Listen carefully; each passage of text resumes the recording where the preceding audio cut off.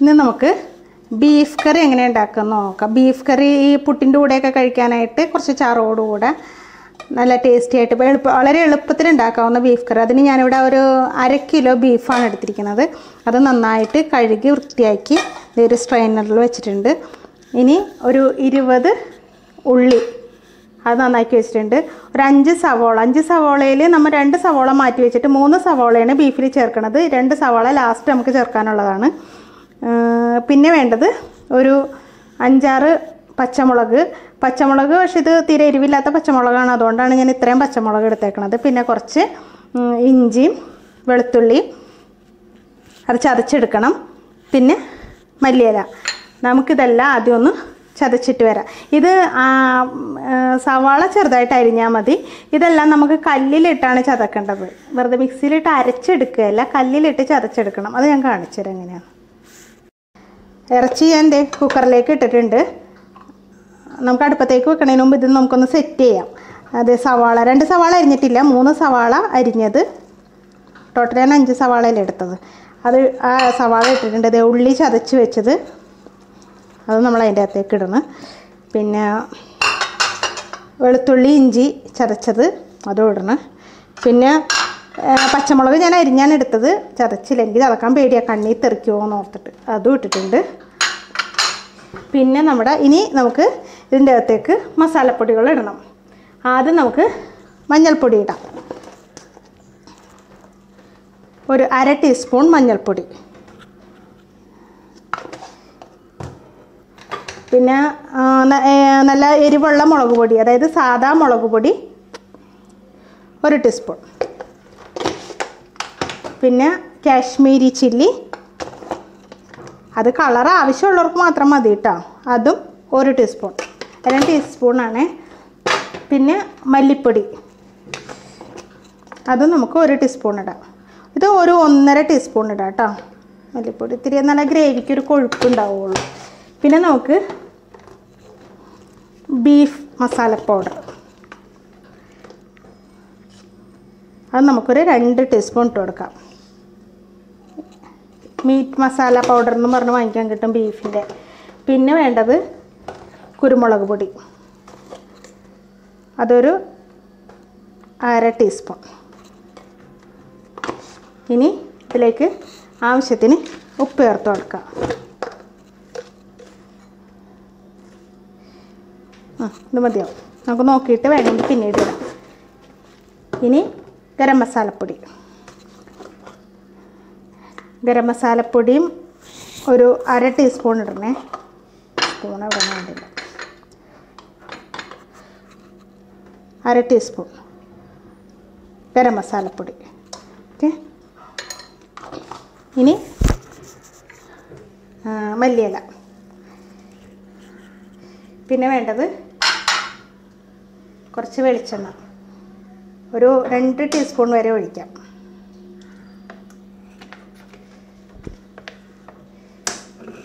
ഇത്രയും ഒഴിച്ചതിന് ശേഷം ഇത് നന്നായി നമ്മുടെ കൈ വെച്ച് തന്നെ നന്നായിട്ട് തിരുമ്മി യോജിപ്പിക്കണം.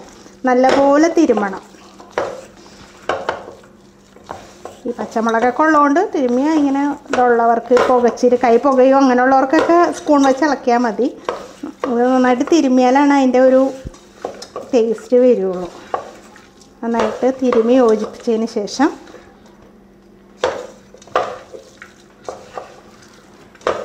ഇത് നമുക്ക് അടുപ്പത്ത് വെച്ച് ഒരു നാല് വിസിൽ വരെ കയറ്റാം. എന്നിട്ട് എടുത്താൽ നല്ല പിന്നീടാണ് നമുക്ക് ആ സവാള കൊണ്ട് ഒരു സവാള ഒന്ന് എണ്ണയിലൊന്ന് നന്നായിട്ട് മുരിപ്പിച്ചിട്ട് ഇടണം.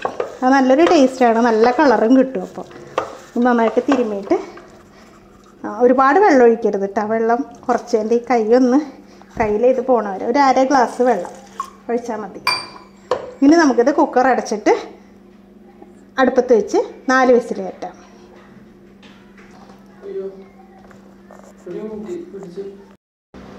ഞാൻ കുറച്ച് കറിവേപ്പിലയും കൂടെ അതിന്റെ അകത്ത് ഇട്ടിട്ടുണ്ട്. ഇനി നമുക്ക് ഗ്യാസ് ഓൺ ചെയ്യാം. ഗ്യാസ് ഓൺ ചെയ്തിട്ട് നമുക്ക് കുക്കർ അടക്കാം. ഇത്ര വലിയ കുക്കറിന്റെ ആവശ്യമൊന്നുമില്ല കേട്ടോ. അര കിലോ മീറ്റേ ഉള്ളൂ. പക്ഷേ എന്റെ ഈ ചെറിയ കുക്കറിന്റെ വർക്ക് ചെയ്യുന്നല്ല നല്ല രീതിയിൽ. അതുകൊണ്ടാണ് ഞാൻ ഈ കുക്കർ എടുത്തത്. ഇനി ഇവിടെ ഇരുന്നിട്ട് വെള്ളം അത്ര തന്നെ ഒഴിച്ചാൽ മതി. ഇനി ഇത് വിസിൽ വരട്ടെ. വിസിലൊരു നാല് വിസിൽ വേണ്ടി വരും ഈ ബീഫ് വേവാനായിട്ട്. നമുക്ക് വിസിൽ വന്നിട്ട് നമുക്ക് നോക്കാം. ഇനി അത് കഴിഞ്ഞിട്ട് നമുക്ക് തുറന്ന് നോക്കിയിട്ട് വേണമെങ്കിൽ അന്നേരം ഉപ്പ് മുളക് ഒക്കെ ആവശ്യത്തിനുണ്ടോ അന്നേരം നമുക്ക് ചെക്ക് ചെയ്യാം. ഓക്കെ അപ്പോൾ അതേ ഇതിന്റെ വിസിലൊക്കെ പോയിട്ടുണ്ട്. നമുക്ക് തുറന്ന് നോക്കാം. നല്ല മണം വരുന്നുണ്ട്.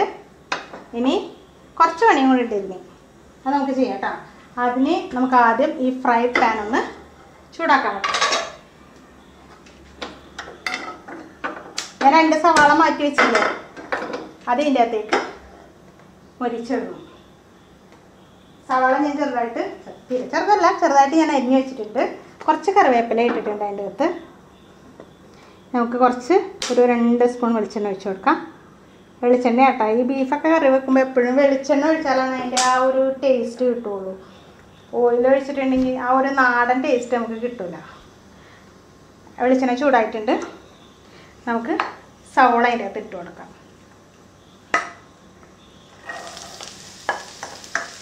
കുറച്ചൊന്ന് മുരിഞ്ഞിടണം ഒരു ഒന്ന് മുരിഞ്ഞ് വന്നിട്ട് നന്നായിട്ട് ഒന്ന് നന്നായിട്ട് മുരിയണത് എന്നാലാണ് ആ ആ കറിയിലിട്ടാൽ അതിനൊരു ഭംഗി വരുള്ളൂ. നന്നായിട്ടൊന്ന് മുരിയണം.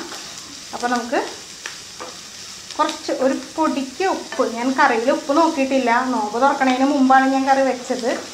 ഇത് ഉപ്പ് ഒരു പൊടിക്ക് ഉപ്പ് ഇട്ടിട്ട് നമുക്ക് ഇളക്കാൻ വേണ്ടിയിട്ട് ലാസ്റ്റ് നമുക്ക് ഉപ്പ് നോക്കാം. ഉപ്പ് വേണമെങ്കിൽ നമുക്ക് ഇട്ട് കൊടുക്കാം കേട്ടോ.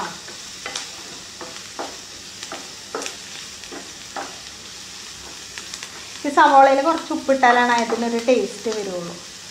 കുറച്ച് ഉപ്പിടണം.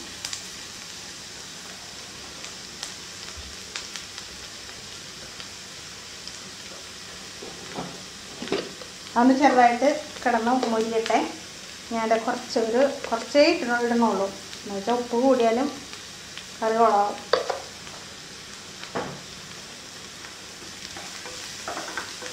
ഇനി ഇതൊന്ന് മൊരിഞ്ഞ് വരട്ടെ.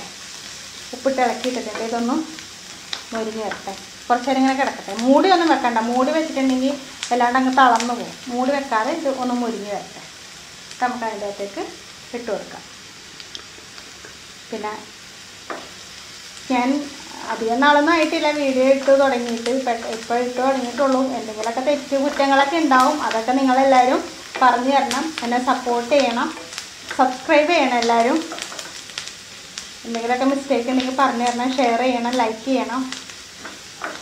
പിന്നെ എനിക്ക് ഞാൻ ശരിക്കും ഒരു ടൈലറിങ് പഠിപ്പിക്കാം എന്നുള്ള രീതിയിലാണ് ഈ ചാനൽ തുടങ്ങിയത്. ആദ്യം തന്നെ ഞാൻ ചെയ്തതും ഒരു ബ്ലൗസ് സ്റ്റിച്ച് ചെയ്യണതായിരുന്നു ഞാൻ ഫസ്റ്റ് ഞാൻ ഇട്ടത്. പക്ഷെ അതിന് ഒരുപാട് വ്യൂവേഴ്സൊന്നും കിട്ടിയിട്ടില്ല. ഇനിയിപ്പോൾ അത് കഴിഞ്ഞിട്ടാണ് ഞാൻ കഴിഞ്ഞ ദിവസം ഒരു മുട്ടക്കറി വെക്കണത് ഇട്ടു. ആ, അത് കഴിഞ്ഞിട്ടാണ് ഇപ്പോൾ ഇത്. അതിന്റെ ലിങ്ക് ഞാൻ ഇതിന്റെ ഡിസ്ക്രിപ്ഷൻ ബോക്സിലിടാം അതൊന്ന് കയറി കണ്ടു നോക്കണം നാടൻ മുട്ടക്കറിയാണ്. പിന്നെ ഇത് കഴിഞ്ഞിട്ട് ഇപ്പോൾ ബീഫ് ഞാൻ നാളെ ഞാനിനി തയ്യൽ പഠിക്ക പഠിപ്പിക്കൽ തുടങ്ങാൻ പോവാണ്. ചുരിദാർ കട്ട് ചെയ്യണത് ഫസ്റ്റ് പഠിപ്പിക്കാം. എല്ലാവർക്കും വീട്ടിലിരുന്ന് ചെയ്യാവുന്ന രീതിയിൽ സിമ്പിളായിട്ട് ഞാനത് പറഞ്ഞു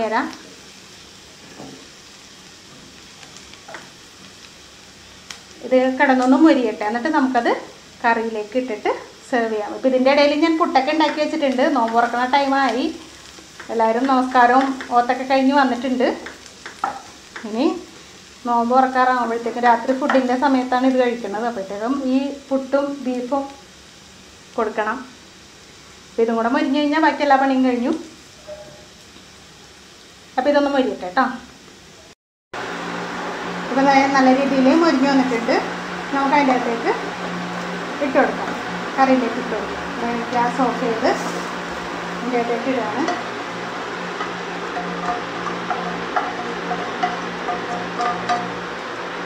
നന്നായിട്ട് എണ്ണ ഇളക്കി കൊടുക്കാം.